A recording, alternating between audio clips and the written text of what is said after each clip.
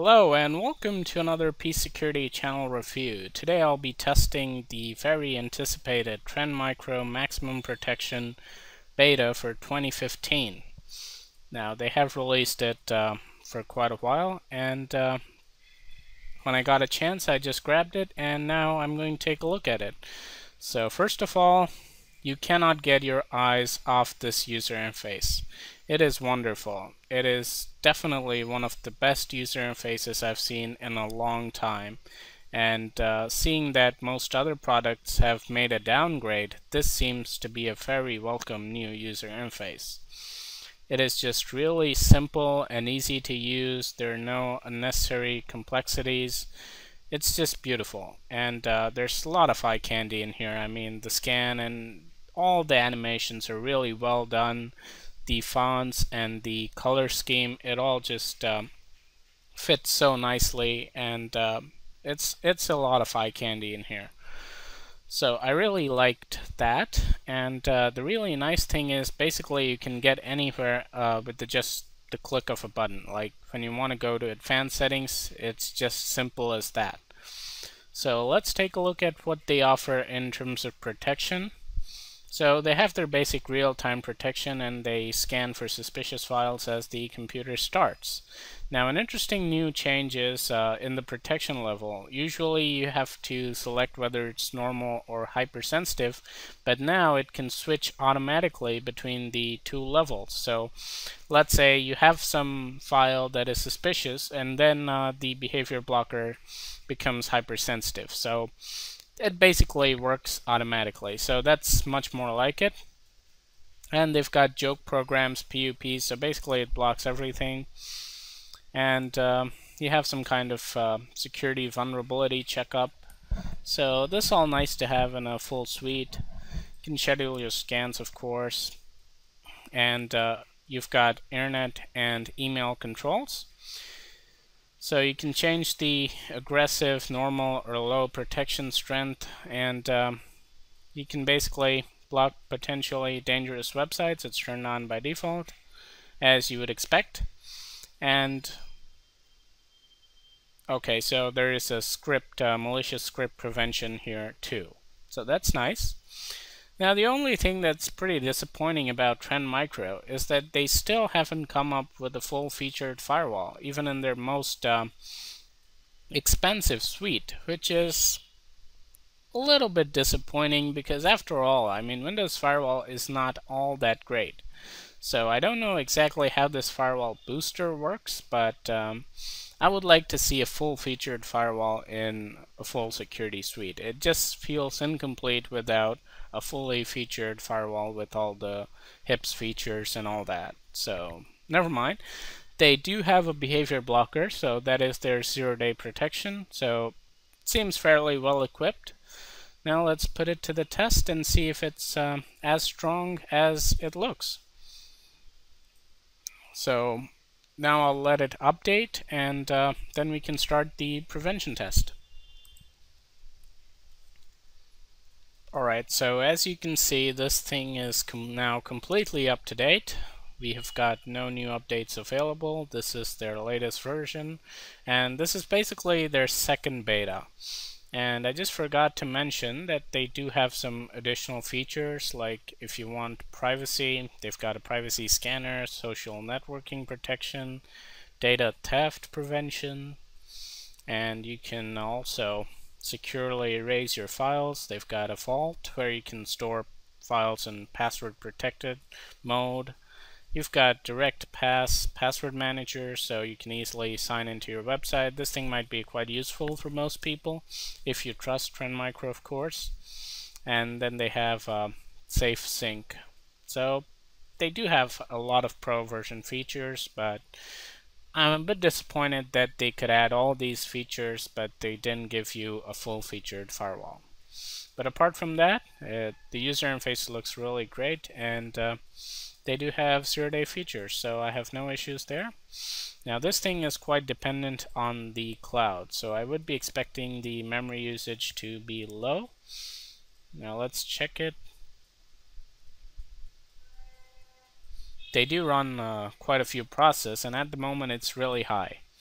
It's using about 160 megabytes of RAM, but uh, that's not all that important. We'll check the system performance, and uh, for the moment, it doesn't seem to be slowing down the system too much. So let's get started with the link test. So as usual, I've got uh, 10 links. We'll try them out. Most of these are fairly new. Some of these have really low detection rates. So we'll just try them and see how Trend Micro protects us. So the first website is blocked by their website filter, which is really neat. I like their website filter. It seems to be doing a pretty good job. Let's try out the next one. This one is also blocked as a dangerous website. Oops. Alright. And the third link, no response so far.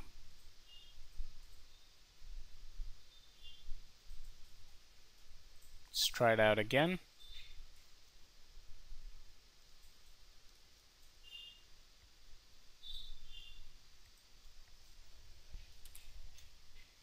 Alright, so the third link is also blocked. So far so good for Trend Micro. Now here is something that had a fairly low detection rate. Let's try it out. Okay, this goes past the website filter. We'll run it. And this should give us a chance to find out how well their behavior blocker works. If it's not caught by the signatures, of course. In fact, I'm not even sure if this malware, so let's see what happens.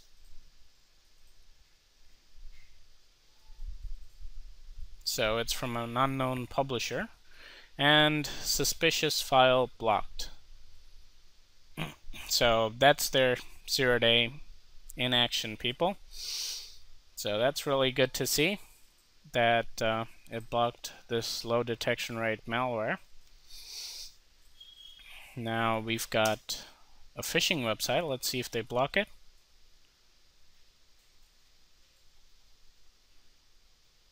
Well, that's uh, a bit disappointing. So it didn't block this phishing website. Now this is basically, again, a fake Google Docs version that uh, tries to convince you that it's Google and that you can view shared documents and you can log in with Gmail or Yahoo or pretty much whatever you want. And then, of course, once you type in your username and password, they use it to hack into your email account and basically they can do pretty much anything after they find out your email address and password. So, not happy that Trend Micro let this one through, considering it's a paid program and they have um, they have a pretty decent website filter. So, Bit disappointed that wasn't blocked. Okay, this one's blocked. This was a zip file containing some malware. Here's another phishing website. Let's try this out and see if um, Trend Micro can stop it. Okay, this one is blocked. So they do have some anti-phishing, but the last one wasn't in their signatures. Now this is another zip file and the website is blocked. That's good to see. Let's try out this one. Now this is also a file that has a fairly low detection ratio. So let's see how Trend Micro deals with it.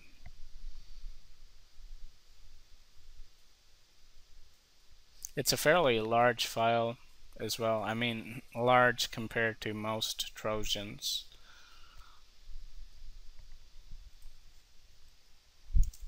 And this website is also blocked by Trend Micro, so that is impressive because um, this thing had a really low detection rate in VirusTotal, maybe just about 5 or 6 engines caught it. And the last link is also blocked.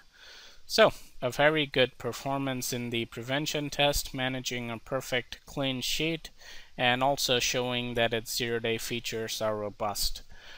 But that's not the end of the story. In fact, uh, the real battle is just going to begin. So for the moment, I'll just uh, pause their protection and grab my malware samples. And then we can find out what kind of detection rate they offer. So as usual, I've got 500 pieces of malware. They're all fairly new. They're just from uh, just from yesterday. Technically, you can call them zero-day malware. I'm not sure, but these samples are basically less than a day old. So let's try them out, and um, we'll see if Trend Micro does a good job here. So I'm going to do a right-click scan and as you can see, their user interface is pretty neat, but is their scan speed neat? I'm not sure. Let's wait and find out. So I'll be back uh, when the scan's done. The scan has finally completed. It took almost forever and uh, the reason for the really slow scan speed is probably the fact that it has to check up all these unknown files in the cloud. So if you're scanning something that's more well known, like let's say regular clean files, then the scanning speed will be much better. But if all the files you're scanning are unknown, then it's going to just check them in the cloud and it's going to take a long time. This might not be a concern for everyday users because they probably won't have so many unknown files on their system, but definitely it's something they could work on. So the scan speed is quite slow.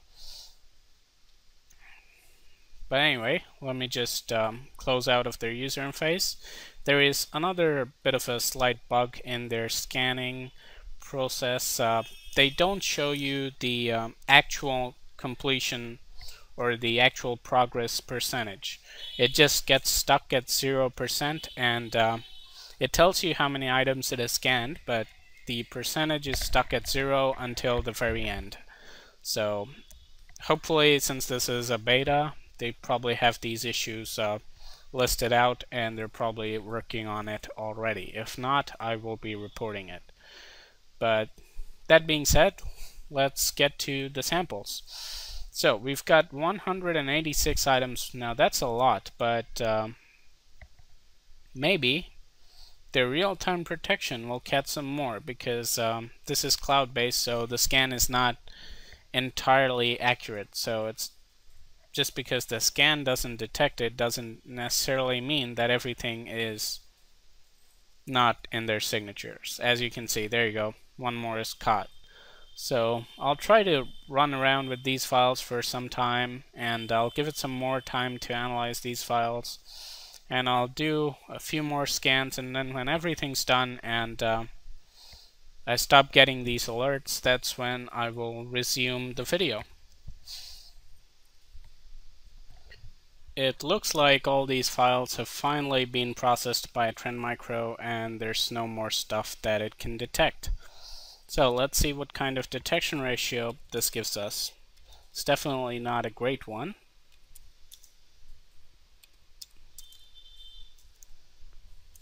So that's basically 73.6%, well below the considered average score of like 80%. 75 to 80 is okay, I guess, but 73.6 falls below the, I mean, my basic standards. But um, that's often the case with cloud security products. They don't necessarily give you an accurate detection ratio because they work very differently. So let's see if it can protect us against these files. That's what's uh, ultimately the most important thing. I don't care if um, I see these files as long as they're not able to infect the system. So let's try running these. And as you can see, this one is caught for suspicious behavior. So this will be a good test of their zero day protection and uh, that is something that is most important. This one is also blocked so we'll delete the file. Just keep deleting these.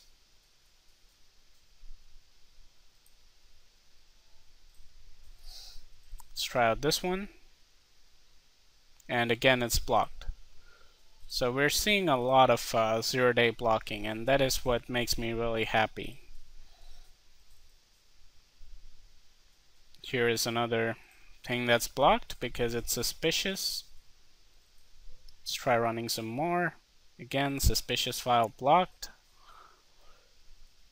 So far so good. Okay, this one seems to have run successfully. This one is blocked.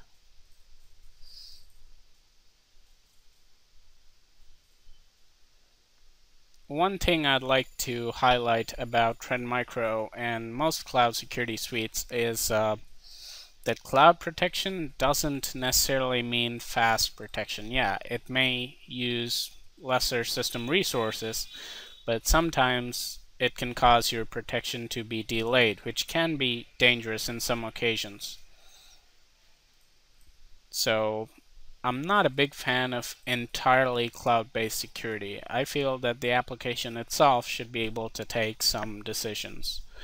And uh, in some cases, uh, you need offline protection because the world is um, not that well connected to the internet yet. We've got lots of people who don't have internet on the go. In fact, the majority of people, when they're traveling, they generally don't have internet on their laptops you don't have Wi-Fi access everywhere. So, I mean, security is something that should be there with you all the time. It shouldn't be only there when you're connected. I guess lots of people are connected all the time. In that case, it doesn't make a difference. But I'd still like to see some kind of offline protection from all the cloud security suites. Or if they have a HIPS, it's not a concern because then they do give you a lot of protection. So your system cannot be modified. It doesn't matter whether the file is detected or not. And um, sometimes the speed at which it um, blocks the files can be quite reduced because it has to check them up in the cloud. And some products that don't block the file until they find it to be malicious. So by the time they do find the file, the damage might have been already done. But Trend Micro seems to be fairly well responsive in terms of behavioral blocking. Uh, that's something that I'm really happy with. In fact, I've run so many files and uh, it's blocked almost like 80 to 90% of these. And uh, that's a very high number, especially for zero-day protection. You generally don't get to see products with um, really good zero-day protection. So let's see how Trend Micro does. I have a few more to run. Alright, let's run this. Smiley face. So as you can see, we're getting a lot of alerts from the behavioral blocking system. So that is something that seems to be working very well in this version. I remember the previous version where it was responsive, but not as much as we're seeing right now. I mean, right now it seems far more powerful and robust. So I'm happy that they've worked on that. And um, as far as you can see, there is absolutely no user input required. So this might be a great product if uh, the user does not have a fair knowledge of uh, security and basically doesn't want to take any decisions um, himself or herself. And uh, as you can see, it's doing everything automatically. It's just blocking you, and all you have to do is hit OK to be protected. Even if you don't hit OK, I guess that's fine. So maybe in an office environment uh, or in a place where um, the user is uh, not really doesn't have the time maybe to answer alerts and you really can't have any kind of um, you know questions for the user this might be a very useful thing but let's find out how well it actually did, because my, as you've probably already noticed, I've not uh, said this yet, but the desktop background has been changed and that's not very pleasant thing.